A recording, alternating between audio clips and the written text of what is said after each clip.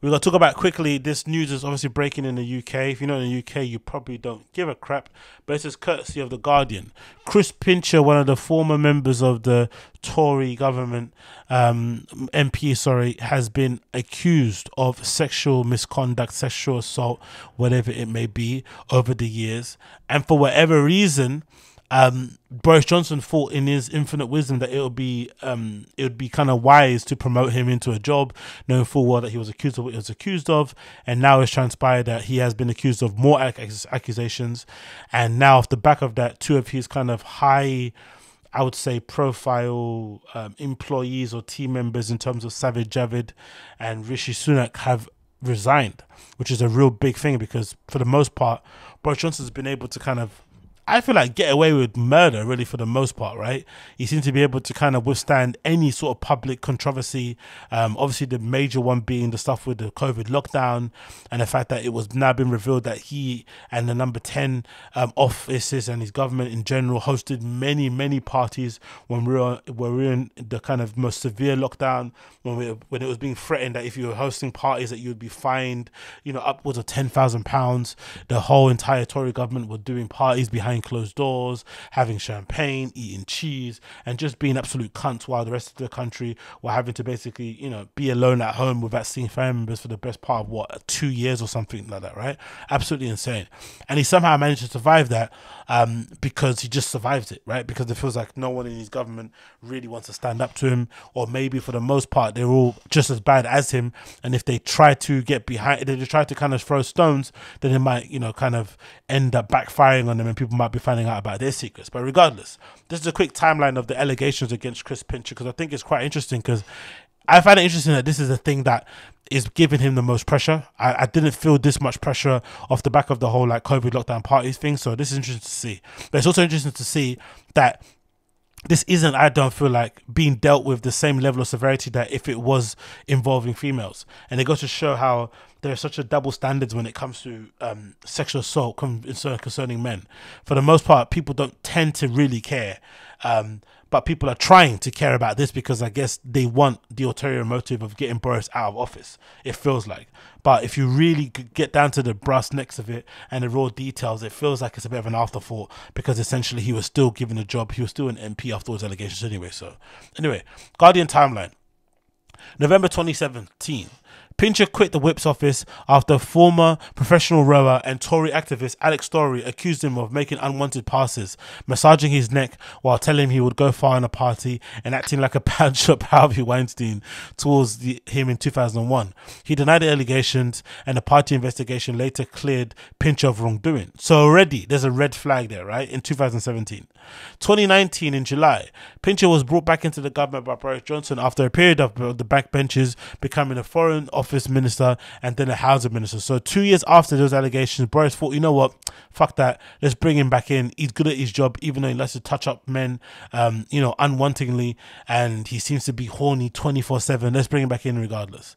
And this is also, think of it, it's also the back, this is also the back of the other MP being caught in flipping the House of Commons watching porn and shit. Like, absolutely mad. Anyway, we continue. February 2022. Pincher was made deputy chief whip by Johnson. The Sunday Times reports that a male Tory MP informed the whip's office at the same time that Pincher had made unwanted passes at him. So already he hasn't learned his lesson from 2017, and he's still making passes at people that don't want to be touched. All right, um, made a wanted pass at him. Pincher has denied acting inappropriately. Um, Conservative MPs have also said they informed their whips about general concerns about Pincher's conduct. I also find it interesting that they keep using this thing unwanted pass. You never hear this language when it comes to women. Whenever it's a sexual assault, sexual misconduct allegation, it always feels as if the guy was like in the bushes and he jumped out at the person, right? And kind of jumped on them and sort of pinned them to the ground and tried to do whatever. You never get the you never get the story that oh no, they were actually he was actually trying to hook up with this person, read the signals wrong, and then he got in a bit of a bind. It's always no, this person jumped out of a fucking bush.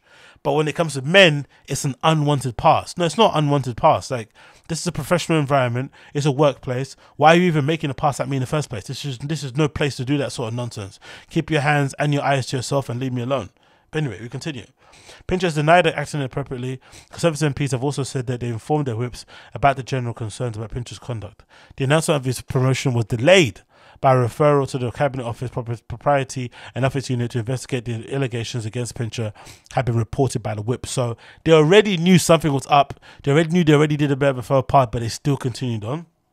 July 20, sorry, June 29, um, 2022, Pincher attended an event in the Conservative Friends of Cyprus at the Carlton Club in Piccadilly. Uh oh, three drinks involved.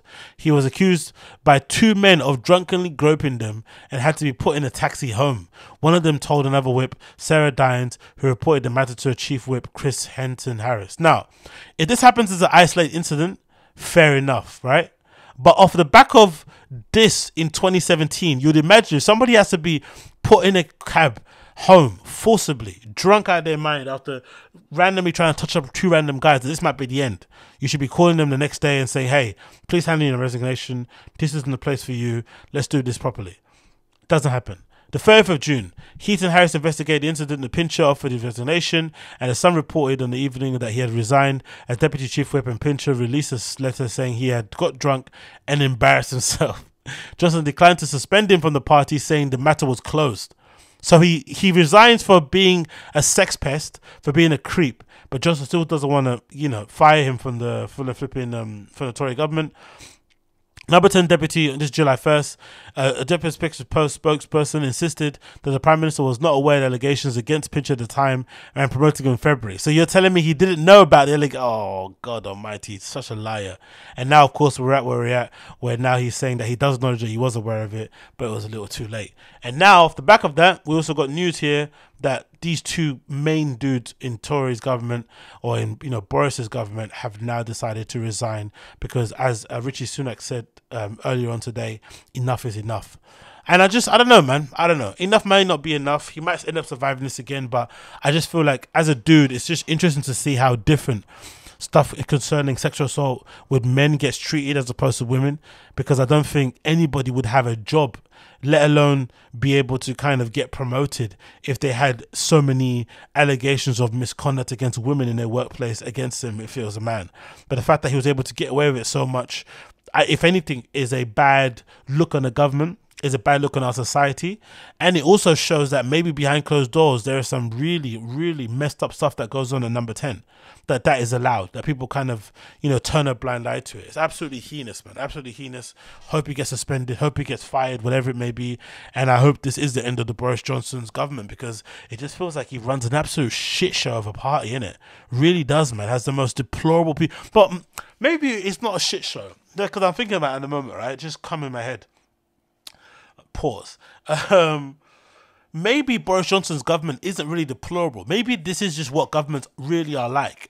But because whatever for every reason, this conservative government is just so unscrupulous, they're so unapologetic, they have no shame, they kind of wear it with some sort of pride that they're pieces of shit, similar to like Donald Trump. You remember when Donald Trump was like, you know, president of the United States? A lot of the thing that I saw with Donald Trump's presidency was more so that he gave dickheads or he gave pieces of shit an excuse to be pieces of shit like people that always wanted to kind of go to you know left wing um, rallies and antagonize people and just be cunts about stuff they were finally got given an excuse with donald trump. Like they finally got given the excuse to kind of be really be their true selves. And i feel like maybe the tory government isn't actually feels full of pieces of shit. It's just full of people who are actually being honest and not trying to pretend like they're good people.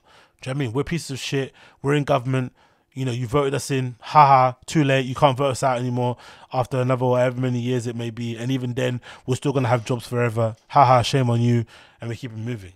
So maybe that's the case. I'm not really too sure. But either way, it would be nice as just a regular civilian to see that the rules do apply to others. Because I don't think if you were a, the CEO of a regular corporation and you managed to overlook your um, new hire or promoted person's um, checkered sexual assault allegations passed and then it came to light, I don't think you'd have a job. You'd also have to walk. You know what I mean? If that person walked, you have to walk too because you approved of their promotion, knowing full well of what they'd done in the past.